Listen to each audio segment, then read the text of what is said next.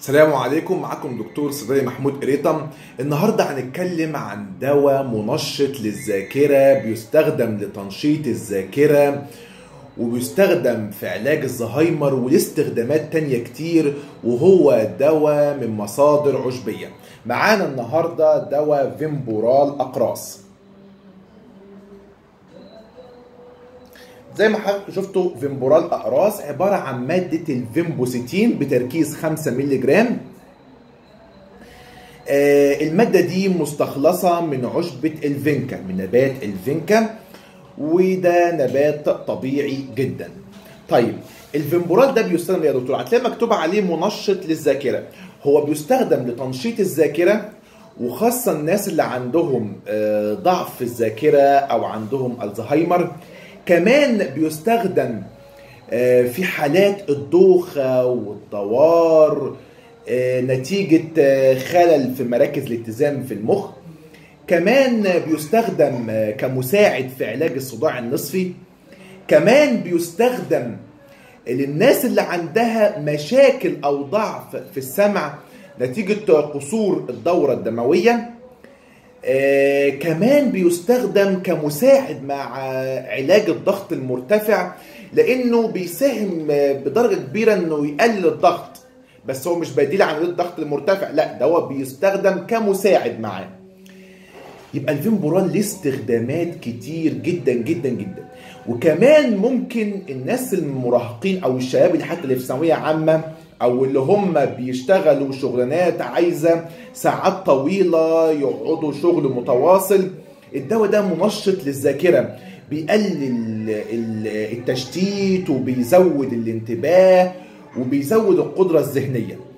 طيب الدواء ده في الحمل والرضاعة ممنوع. بلاش لو واحدة حامل أو بترضع تستخدمه. الدواء ده الميزة اللي فيه كمان إنه مفيش تفاعل بينه وبين أي أدوية تانية. الدواء ده جرعته من قرص لقرصين ثلاث مرات بعد الأكل. يعني ناخد حباية واحدة أو حبايتين بعد الأكل ثلاث مرات في اليوم.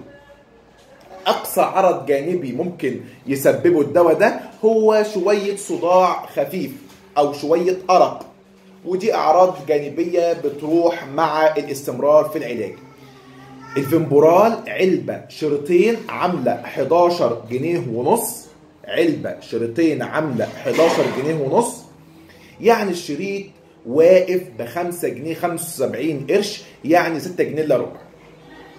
ده معانا دواء ممتاز وفعال اسمه فيمبورال استخداماته كمنشط للذاكرة وفي حالات ناس عندها ضعف الذاكرة أو الزهايمر استخداماته في الدوخة والدوار وفي علاج ويستخدم كمساعد مع علاج الصداع النصفي الناس اللي عندها مشاكل في السمع نتيجة قصور الدورة الدموية كمان بيساعد على تزويد زيادة القدرة الذهنية وزيادة النشاط والأداء الذهني بالنسبة للمراهقين أو الشباب أو الناس اللي بيشتغلوا ساعات طويلة كمان مساهم مع أدوية الضغط المرتفع إنه بيساعد في خفض ضغط الدم بصورة ملحوظة. الدواء ده متميز وفعال وزي ما قلنا من أعشاب طبيعية امن وفعال تماما. طبعا لازم الواحد يهتم بتنشيط الذاكرة وياخد حاجات طبيعية طبعا مع الأدوية. هو الدواء ده من مصدر طبيعي بس ما يمنعش إن لو خدت معلقتين عسل على نص كوباية مية الصبح ومعلقتين عسل نص كوباية مية بالليل هيساعد معايا في تنشيط ال ال ال الأداء البدني. كمان زيت جنين القمح وفيتامين ه من الحاجات الطبيعية اللي بتساعد في تنشيط الذاكرة. وتنشيط الدورة الدموية الدماغية بطريقة طبيعية فالأكل الصحي مع الدواء هيساهم بدرجة كبيرة في تنشيط الأداء الذهني. يا رب الفيديو يكون عجبكم ويا رب تكونوا استفدتم. سلام عليكم.